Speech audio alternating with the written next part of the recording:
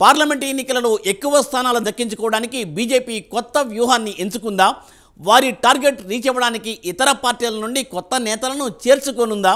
వలస నేతలతో కమలం లక్ష్యం నెరవేరేనా?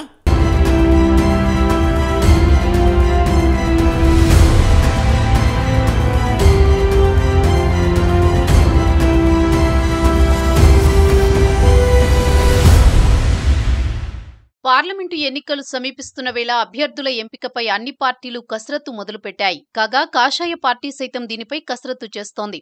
అయితే పార్లమెంటు ఎన్నికల్లో స్థానాలను కేటాయించడంలో బీజేపీ రూటే సెపరేటు అనేలా కనిపిస్తోంది. బయట పార్టీ నేతలకే ప్రియారిటీ ఇవ్వాలనే యోచనలో ఉన్నట్లు తెలుస్తోంది. కనీసం ఆరు స్థానాలను ఇతర పార్టీల నుండి వచ్చే నేతలకే కేటాయించాలని పార్టీ ఆలోచిస్తున్నట్లు సమాచారం.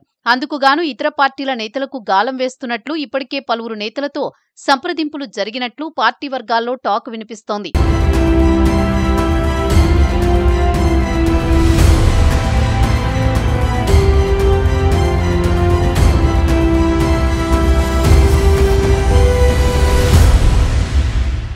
తెలంగాణలో మొత్తం పదిహేడు పార్లమెంటు స్థానాలున్నాయి.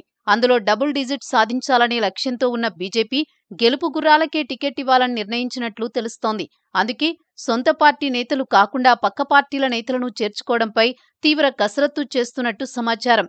తెలంగాణలో వరంగల్ ఖమ్మం నల్గొండ మహబూబాబాద్ పెద్దపల్లి నాగర్ కర్నూల్ పార్లమెంటు స్థానాల్లో చెప్పుకోదగ్గ స్థాయిలో నేతలెవరూ పార్టీలో లేరనే చర్చ రాజకీయ వర్గాల్లో జరుగుతోంది.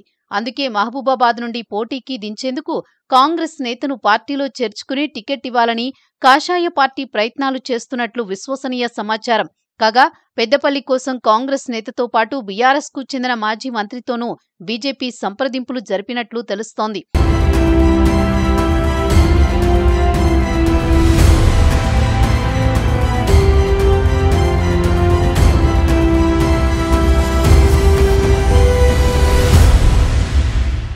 అలాగే నాగర్ కర్నూల్ వరంగల్ జహీరాబాద్ ఆదిలాబాద్ పార్లమెంటు స్థానాల్లో బీఆర్ఎస్ నేతలను పార్టీలో చేర్చుకుని బరిలో దింపేందుకు ప్లాన్ చేస్తున్నట్లు తెలుస్తోంది. ప్రస్తుతం Adilabad sitting MP Soyam Bapurao BJP నుండే గెలిచినప్పటికీ ఈసారి మాత్రం టికెట్ ఇవ్వడం కష్టమే అనే సంకేతాలు కనిపిస్తున్నాయి.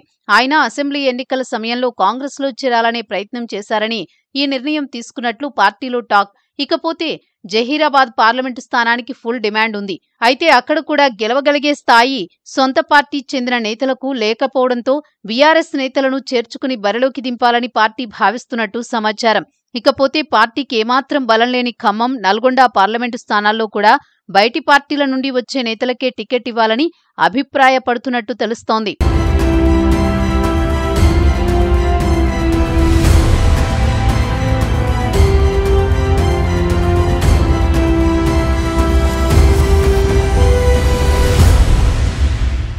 బీజేపీలో మల్కాజ్గిరి పార్లమెంటు సైతం హాట్ సీటుగా మారింది.